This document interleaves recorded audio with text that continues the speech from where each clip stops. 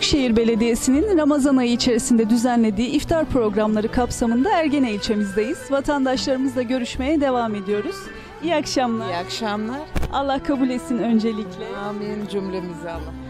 Bu iftar programlarıyla ilgili olarak düşüncelerinizi alabilir miyiz?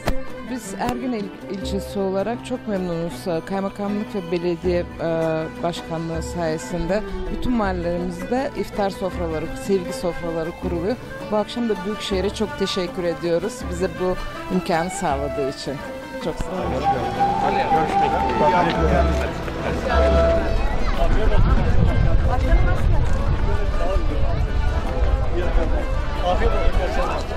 Tekirdağ Büyükşehir Belediyesi'nin Ramazan ayı içerisinde düzenlediği iftar organizasyonları içerisinde Ergene ilçemizdeyiz.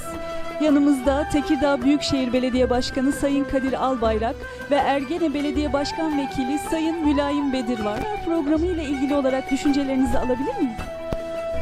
Şu güzelliği görüyorsunuz değil mi? Bunlar işte çok güzel bir ortamlar. Kadir Başkanımıza çok teşekkür ediyoruz Büyükşehir Belediye Başkanı Kadir Başkanımıza. Özellikle bir de büyük, en büyük mahallemizi seçmesi çok daha isabet olmuş.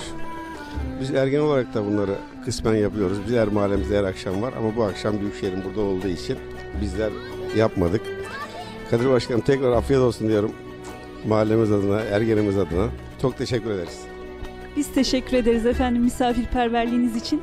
Başkanım çok kısa sizin de düşüncelerinizi alabilir miyim? Önce bizi seyreden ve iftarımıza katılan tüm Yeşiltepelileri, tüm Ergenileri ve bizi izleyen tüm seyircilere bu, bu akşamın güzelliğine sevgi ve saygılar sunuyorum.